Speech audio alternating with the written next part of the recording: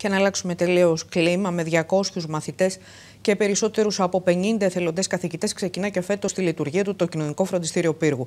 Το απόγευμα της Δευτέρας τελέστη ο αγιασμός για τη νέα σχολική χρονιά με την ευχή όλων για κουράγιο και δύναμη στο δύσκολο έργο των υπεύθυνων της λειτουργίας του Κοινωνικού Φροντιστηρίου, τους εθελοντές αλλά και τους μαθητές που τους δίνεται η μοναδική ευκαιρία να λάβουν γνώσεις για τη μελλοντική τους σταδιοδρομία χάρη σε κάποιους ανθρώπους με αλφα κεφαλαίο. Και έτσι μια και το έφερε ο καιρός, έλα η Ελένη πέρσι ήταν εκεί. Η Ελένη σε λίγες μέρες ξεκινάει να σπουδάζει γιατρός. Είμαστε πολύ περήφανοι και ευχόμαστε να τις μοιάσετε.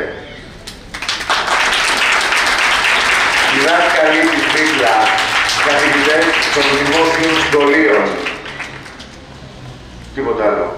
Με συγκίνηση και περηφάνεια, ο εμπνευστής και προτεργάτης της ιδέας που κατέληξε να δουλεύει καταλητικά για τη μόρφωση και την πρόοδο παιδιών αδύναμων οικονομικά οικογενειών, ο Χρήστος Αθανάσουλας παρουσιάζει στην τελετή του αγιασμού για τη νέα σχολική χρονιά του Κοινωνικού Φροντιστηρίου Πύργου την Ελένη Παυλή, την μαθήτρια που διδάχθηκε από εθελοντές καθηγητές του Κοινωνικού Φροντιστηρίου και εισήχθη φέτος για σπουδές στην ιατρική σχολή. Η φετινή χρονιά ξεκινά με τους καλύτερους ιονούς για το κοινωνικό φροντιστήριο. Πολλά παιδιά που ίσως ξεπεράσουν τα 200, αλλά και ικανοποιητικός αριθμός εθελοντών καθηγητών. Άνθρωποι με αλφα κεφαλαίο που ανταποκρίθηκαν στο κάλεσμα για ενίσχυση του σημαντικού έργου του κοινωνικού φροντιστηρίου. Τον αγιασμό τέλεισε ο Μητροπολίτης Ηλίας, κ. Γερμανός, με τους καθηγητές, τους υπεύθυνους λειτουργίας του φροντιστηρίου και τους περισσότερους μαθητές να δίνουν το παρόν στην τελετή. Εδώ μια μεγάλη ομάδα από τους καθηγητάς σας εθελοντές για να σας διδάξουν. Γιατί και αυτό είναι μέσα στην πατριωτοσύνη των Ελλήνων. Η ταπεινότης μου όταν έδινα εξετάσεις για να μπω στο γυμνάσιο της Αμαλιάδας, από τον Καρδαμά όπου κατάγομαι, ο δάσκαλός μας μας έκανε φροντιστήριο.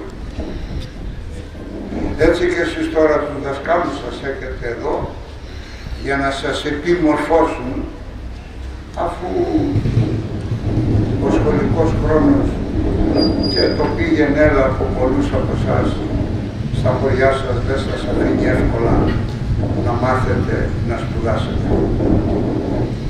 Λοιπόν, σας ευχαριστώ, αλλά και σας συγχαίρω. Κοντά στα παιδιά του Κοινωνικού Φροντιστηρίου και στον Χρήστο Αθανάσουλα βρίσκεται και φέτος ο πρώην Διευθυντής του Πρώτου Λυκείου Πύργου και συνταξιούχος πλέον, αλλά πάντα δραστήριος και μάχημος στις επάλξεις του καθήκοντος Βασίλης Σωτηρόπουλος. Παλέψτε για τους στόχους σας, προέτρεψε τα παιδιά στη διάρκεια της τελετής και μίλησε για το δύσκολο έργο που οφείλουν όλοι να επιτελέσουν και αυτή τη χρονιά καθηγητές, μαθητές και γονείς, με στόχο την επιτυχία. Το μεγάλο ευχαριστώ πρέπει να απευθυνθεί στον εμπνευστή και ιδρυτή του Κοινωνικού Φροντιστηρίου, τον κύριο Χρήστο Δαναθανάσουλα, ο οποίος με τις άοπνες προσπαθειές του έχει δημιουργήσει αυτό το σε εισαγωγικά θαύμα, θα έλεγα. Πράγματι είναι εντυπωσιακό αυτό που συμβαίνει τα τελευταία χρόνια ιδιαίτερα φέτος, που εγώ για δεύτερη χρονιά βρίσκομαι εδώ, έχω τη χαρά να συνεργάζομαι με αυτόν τον άνθρωπο και με όλους τους άλλους, τους νεαρούς συναδέλφους, ως επιτοπίστων νεαρούς, αλλά και κάποιους άλλους που είναι διορισμένοι και παρότι έχουν την πρωινή τους δουλειά, το απόγευμα αφιερώνουν χρόνο για σας. Με μεγαλύτερο μπράβο όμως ανήκει στα παιδιά αυτά τα νέα, τα οποία είναι εμπνευσμένα, θα έλεγα, από ιδανικά, έχουν τον εθελοντισμό βαθιά μέσα τους και έρχονται εδώ αφιλοκερδός, όπως τα ξέρετε, και μερικές φορές, να μην κρυβόμαστε να το πούμε, χρειάζεται να τσοντάρουν κάτι από το πενιχρό τους βαλάντιο για να βγάλουν κάποιες φωτοτυπίες, να πάρουν κάποια βοηθήματα που χρειάζονται κλπ. Αυτό, απευθύνομαι στους μαθητές, θα πρέπει να το σεβαστείτε διπλά. Θα, θα πρέπει να τους αγαπήσετε διπλά. Και πώς θα, πώς θα φανεί αυτή σας η αγάπη. Αυτή σας η αγάπη θα φανεί με τον αγώνα σας, την προσπάθειά σας την προσήλωσή σας σε αυτό για το οποίο βρίσκεστε εδώ. Θέλω να δείτε πολύ καλά αυτούς που έχετε απέναντί σας. Είναι άνθρωποι που έχουν έρθει εδώ να σας βοηθήσουν. Είναι εδώ για σας, χωρίς κανένα υλικό όφελος.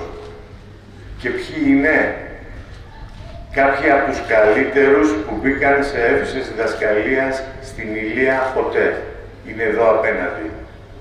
Και κάποιοι από αυτούς που εξελίσσονται στους καλύτερους. Αυτή η ποιότητα ανθρώπων και ποιότητα εκπαιδευτικών είναι εδώ. Θα έχετε να πάρετε πολλά αγάπη, σεβασμό και επιμέλεια.